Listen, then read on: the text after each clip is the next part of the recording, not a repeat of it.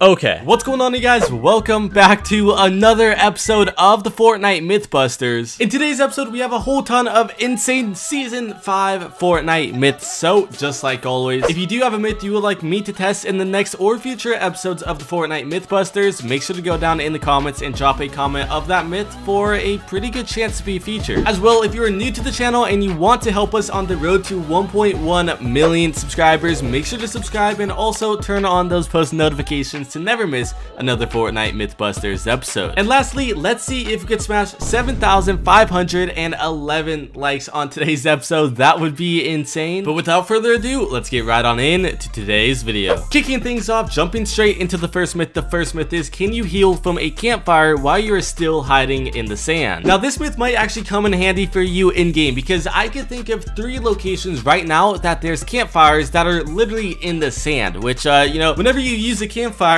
a lot of people see you because of the smoke, but if you're hiding in the sand, no one will really expect you to be there. Something to know is that you actually will heal while you are in the sand next to the campfire. It still has the same exact radius, but you cannot stoke the campfire, nor can you light it or even relight the campfire once it's fully put out. This is good to know. If you don't really care about stoking the campfire, then, you know, you could hide. If not, though, you, you might have to just stay above ground and, uh, you know, just box up or something. Going straight into the next myth and another highly requested myth. This myth is what happens when you use a rift fish next to an NPC or even a boss. Now the outcome is going to be the exact same whether it's an NPC or even a boss so uh, you know I just tried this out with Mandalorian himself. To do this myth I basically had to find a rift fish. If you don't know what a rift fish is it's basically a fish that you could get uh, and uh, you know it's pretty common. A lot of people do get them in real games and it's basically a portal rift. You, you eat the fish and uh, you know you teleport up into the sky and a little rift is also left behind on the ground. Once I my way all the way over to Mandalorian, I then, you know, ran directly straight up to him. I basically gave him a big hug. I ate the rift fish where both of us actually surprisingly teleported up into the sky,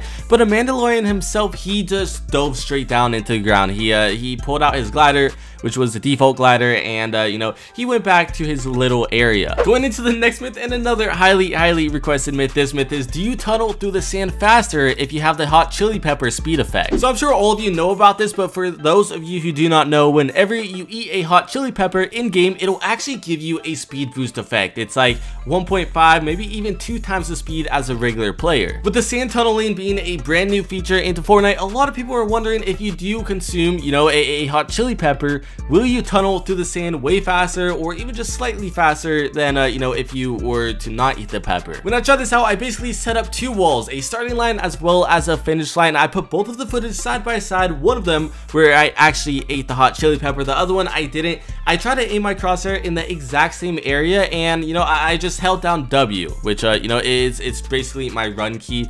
And, uh, you know, it, it didn't seem to have any speed boost difference whatsoever. This is definitely something good to know because the hot chili peppers in game, they're, pretty useful. You know, not a lot of people fight with them, but when you do fight someone who has the effect, they're a lot harder to hit because, uh, you know, they're moving so much faster. So uh, you definitely don't want to waste a pepper just to go through the sand. Went into the next myth and actually a similar myth to uh, the last episode of the Fortnite Mythbusters. This myth is if you consume a Rift Rock and jump off where you'll take fall damage, if you teleport last second, will you still take the damage? So in the last episode, we actually tried something similar, but instead of, you know, teleporting last second while we are in the air to, uh, you know, get to the ground faster or whatever, we actually teleported off the edge of, you know, a cliff or, you know, a, a building, a structure, whatever.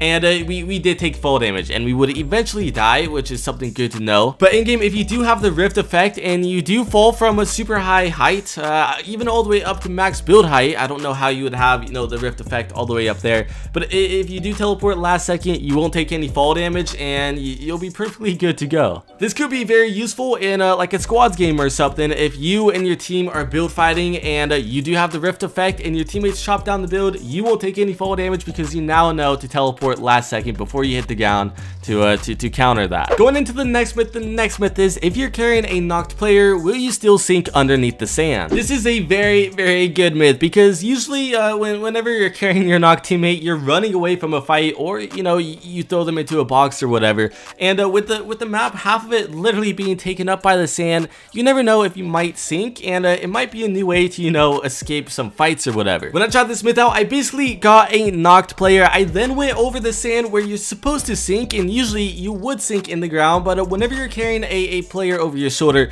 you will not sink, and it's like Fortnite knows this, but uh, it, it totally doesn't make any sense either because you, are literally carrying someone over your shoulder. You would think you would sink maybe a little bit faster or something. But also, if you are holding like an AR, a shotgun or whatever, and you are aiming down the sights, you won't sink either. So I guess this is kind of Fortnite's way to uh, hopefully make players not totally rage because it would suck in the middle of a fight if you, you know, you're sinking into the sand and then you can't shoot or anything. Going into another very, very highly requested myth. This myth is what happens when you are the final player in a game and you try to set a bounty. Will it set the bounty on yourself or not allow you? What exactly happens? This is actually a very, very good myth because usually in a real game, when you are the final player, you, you end up, you know, just celebrating your victory royale and you don't actually get a chance to set a bounty, let alone the final zone actually ending near an NPC without, you know, them still being alive or whatever. I tried this myth out in a custom matchmaking game. You can see that I am in the game all by myself. This acts the exact same as a real game and even if I were to win a match, I would be by myself. There would be literally nobody else. So uh, no nothing really changes here besides the fact that it's basically a private lobby. I attempted to set a bounty in game, but it actually wouldn't let me. It would allow me to do other quests in the game and, uh, you know, allow me to set them. I would basically click on it. It would show yes or no, you know, the thumbs up or whatever.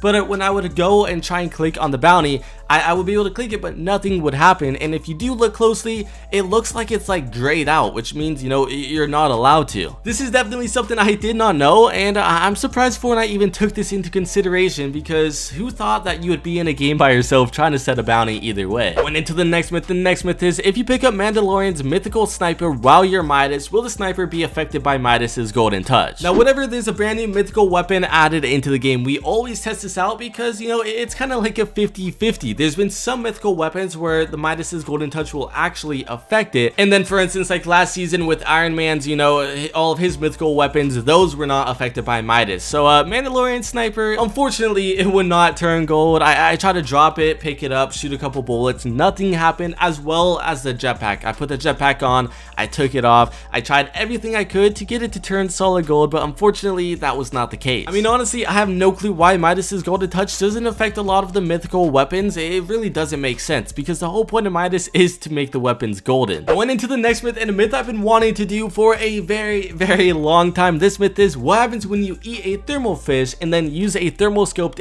AR or in this case, Mandalorian sniper since it also has a thermal scope. Ever since the thermal fish was added into the game, I've been flooded with people asking me to actually try this myth out and unfortunately I, I never have been able to until this season. Now when you eat a thermal fish, it basically gives you, you know, the thermal vision. You know how whenever you scope in with a thermal scoped AR, it'll show players up in a bright white and everything else is kind of grayed out or whatever. To make the players really stand out, it basically tracks them off of heat. Mandalorian Sniper this season as well has this type of thermal scope, but instead of the players actually showing up as a solid white, they are like this reddish color, which uh, makes this myth even a little bit more interesting. Scoping in with Mandalorian Sniper, looking at the IO guards, they still had the red effect that, uh, you know, the Mandalorian Sniper always would do for players, so that's no surprise. But as soon as I ate the thermal fish and I looked at the IO guards, as well as even scoped in with Mandalorian Sniper Rifle, uh, basically it, it, totally got rid of Mandalorian's color effect, you know, with the thermal, and the, the solid white, you know, the, the thermal that we are used to,